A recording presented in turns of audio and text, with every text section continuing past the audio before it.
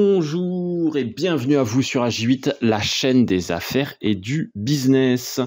Euh, pour cette vidéo, j'ai décidé de faire quelque chose de différent, euh, de même très différent de tout ce que vous avez pu lire et écouter sur ma chaîne depuis que la chaîne existe, tout simplement.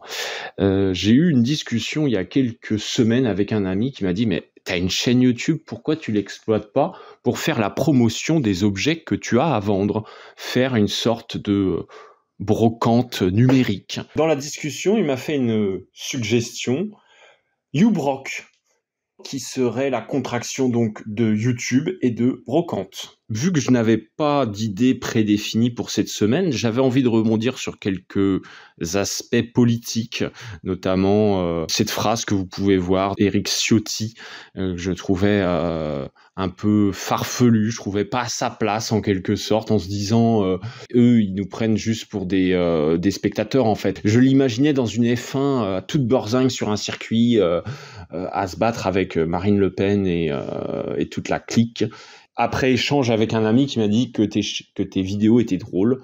Euh, je m'attendais pas qu'on me dise que mes vidéos, mes vidéos étaient drôles et j'avais apprécié son point de vue parce que c'est bien d'avoir votre regard aussi euh, en tant que spectateur de ma chaîne.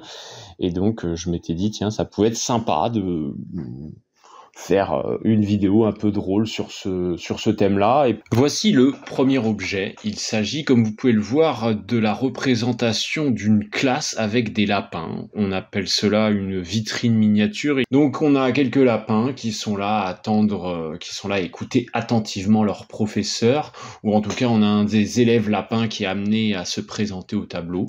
Euh, petite création fort sympathique. Donc vous pouvez voir les dimensions que j'indique.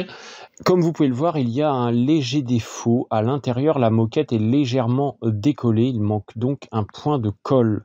Pour cela, je la mets en vente à 40 euros et vous pouvez retrouver le lien dans la description. Pour euh, le deuxième objet, euh, à nouveau une vitrine, une vitrine représentant euh, la passion, enfin le loisir que représente le golf.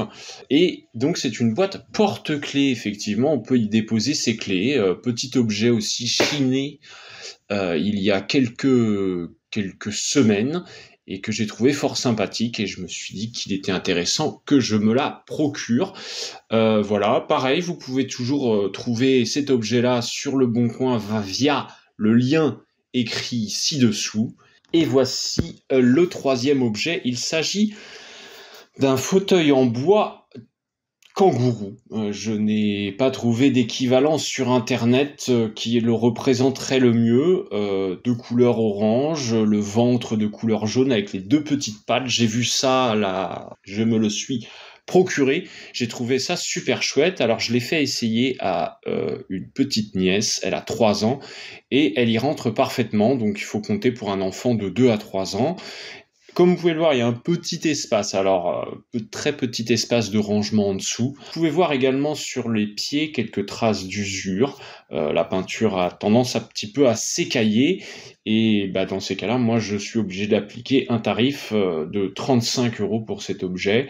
Je l'aurais vendu plus s'il avait été, si la peinture n'avait pas été écaillée. Il attend un enfant, peut-être le vôtre, peut-être l'enfant d'un ami à qui voudriez offrir ça. Je trouve que c'est un super cadeau qui a sa place dans la chambre d'un enfant ou dans euh, le salon familial. Voilà, et eh ben écoutez, j'ai fait le tour sur ces trois premiers objets, trois premiers objets de ce Ubrock euh, numéro 1.